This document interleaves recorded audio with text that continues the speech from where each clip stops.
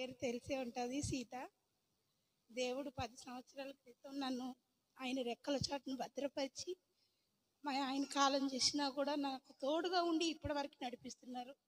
ఒకదాన్ని హైదరాబాద్లో ఉంటా కూడా బిడ్డలిద్దరిని చదివించుకోగలిగిన పాపకి మూడు నెలల క్రితమే జాబ్ వచ్చింది. దేవుడు ఆ కృప చూపి మాకు తోడుగా ఉన్నారని నమ్ముచు ఈ కొద్ది సాక్ష్యాన్ని దేవుడు దీవించిన కాక షలోం అండి అందరికీ. నా పేరు స్వప్న. మేము హైదరాబాద్ నుంచి వచ్చాము. సీత నా బెస్ట్ ఫ్రెండ్. తన ద్వారా బ్రదర్ పరిచయం అయ్యారు. ప్రతిరోజు బ్రదర్ క్వశ్చన్ పెడతారు కదా. క్వశ్చన్కి ప్రతిరోజు నేను ఆన్సర్ పెడతా. కంపల్సరీ ఒక్కరోజు క్వశ్చన్ పెట్టకపోయినా కానీ నాకు మొత్తం ఇంకా మనసంతా అదే ఉంటుంది. సాయంత్రం వరకు బా పొద్దుక ఫోనే చూస్తుంటా. ఎప్పుడు పెట్టారు ఎప్పుడు పెట్టారని. అట్లా చాలా ఆత్మీయంగా నేను పదకొండు సార్లు బైబిల్ కంప్లీట్ చేశాను కానీ చాలా బైబిల్ చదవడం వేరు ధ్యానించడం వేరు. బ్రదర్ ద్వారా నేను చాలా తెలుసుకున్నాను.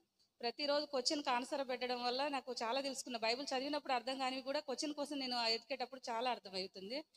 నాకు బ్రదర్ సీత ఇచ్చిన ఒక గిఫ్ట్. సతీష్ అన్న తర్వాత నేను ప్రతి వారం వాక్యం ఈ బ్రదర్దే వింటాను. ఖచ్చితంగా వింటాను. ఒక వారం కూడా మిస్ కాను. కానీ మీరందరూ ఇంకా ధన్యులు. ఎందుకంటే ప్రతిరోజు మీరు ఇక్కడ ఉంటారు. మీకు ఏ కష్టం వచ్చినా బ్రదర్ ఇక్కడ వస్తారు. మీరు ఇంకా చాలా ధన్యులు. సలోమోన్ జ్ఞానం చూసి వాళ్ళందరూ వచ్చినట్టు మేము కూడా అక్కడి నుంచి ఇంతవరకు వచ్చామంటే బ్రదర్ చాలా బాగా చెప్తారు వాక్యం. అందుకని నేను అసలు ఈ రోజు వస్తానని అనుకోలేదు. బ్రదర్ వాళ్ళ పాపకి బాగాలేదని తెలగానే నాకు రావాలని వచ్చేసాను. ఈ చిన్న సాక్ష్యం దేవుడు దీవించిన కాక